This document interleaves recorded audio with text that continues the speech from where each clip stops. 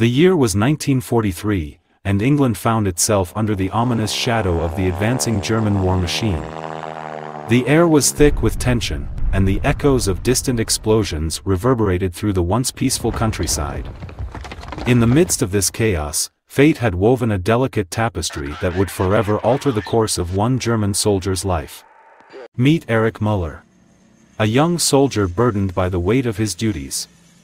As the German forces pressed forward, he found himself stationed in Thornfield, where the clash of nations would soon be eclipsed by a story of love, loss, and the indomitable spirit of humanity.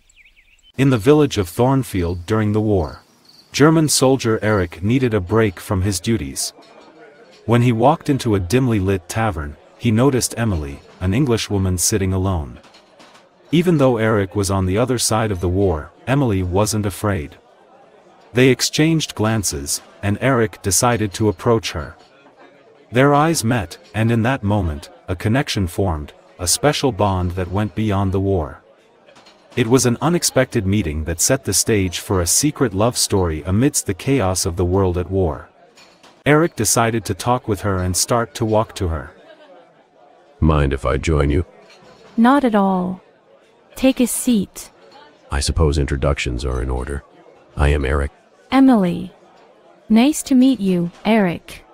As the night unfolded, Eric and Emily found themselves immersed in conversation, their words weaving a bridge between two worlds divided by war. In that dimly lit tavern, they spoke of the ordinary things, the beauty of Thornfield, the warmth of its people, and the dreams they held close to their hearts.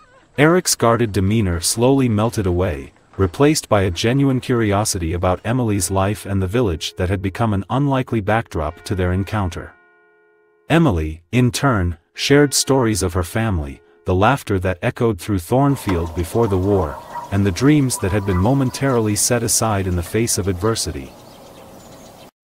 As days passed, Eric and Emily continued meeting secretly in Thornfield, finding moments of peace amid the chaos of war.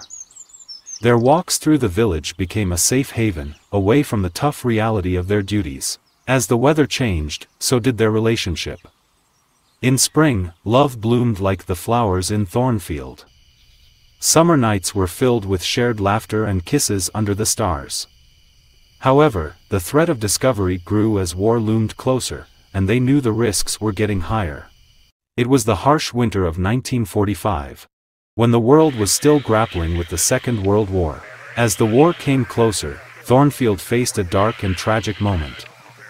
The sounds of approaching artillery and the distant noise of enemy forces hinted at a disaster that would be worse than anything before. The village, already damaged by the harshness of war, stood at the edge of a heartbreaking ending. In the final days of the war, as the village square witnessed the impending storm, Emily, with her strong spirit, refused to leave the place she considered home.